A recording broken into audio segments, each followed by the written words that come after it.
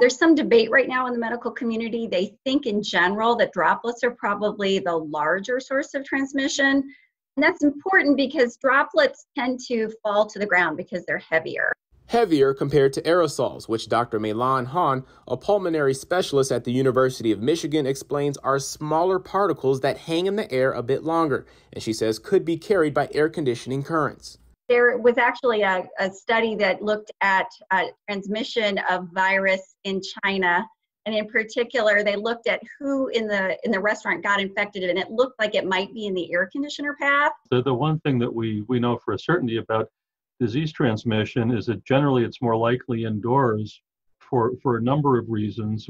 One of them, the main one, is that contaminants that are generated indoors can concentrate Professor William Bahnfleth, who chairs the American Society of Heating, Refrigerating, and Air Conditioning Engineers Task Force, says there are many air conditioning systems that only heat and cool the inside of a building and fail to bring in fresh outside air.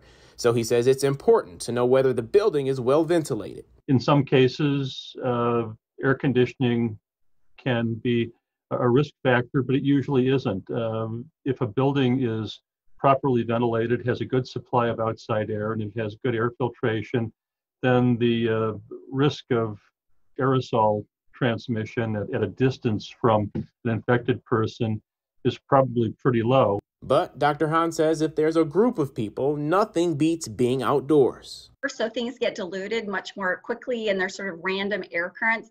The other thing about being outdoors is that there's sunlight. Uh, and we actually think that light, in particular UV light, can actually potentially kill the virus.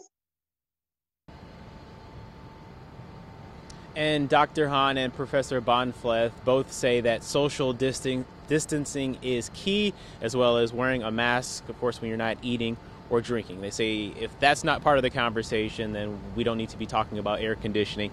Now, the professor also says to make sure that there is enough fresh air circulating, as we talked about, ventilation, and to upgrade any air conditioning filters. This morning I'm reporting live. Darren Cunningham, 7 Action News.